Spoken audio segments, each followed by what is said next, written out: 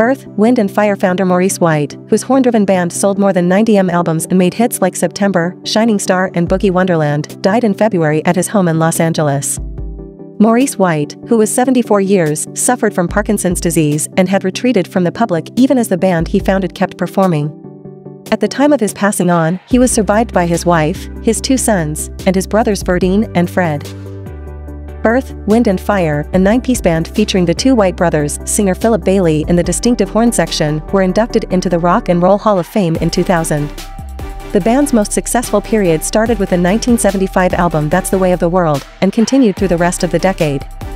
Other hits included Serpentine Fire and a cover of the Beatles' Got to Get You Into My Life. Maurice White was born in Memphis in 1941, the son of a doctor and grandson of a New Orleans piano player.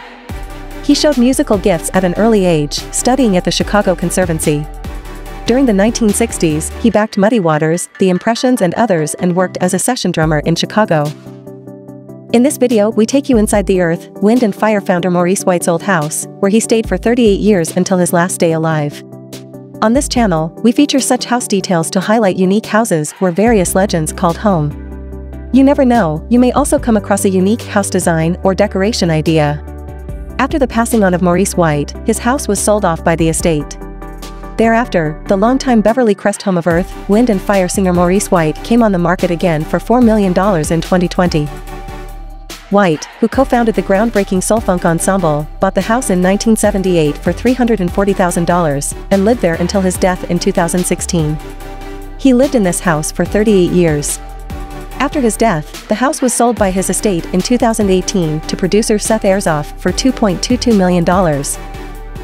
The Tudor-inspired two-story has taken on a fresh look since Airsoft took ownership. New wide plankwood floors, tilework, hardware and fixtures are among updates of note. In the gleaming white kitchen, dividers were removed and the space was reconfigured for a more open feel. Upstairs, an expanded master suite contains a bar, a two-way fireplace and a sitting room. There are four bedrooms and four bathrooms in 4,165 square feet of space. The property sits at the end of the guard-gated Bel Air Ridge community that has seven tennis courts.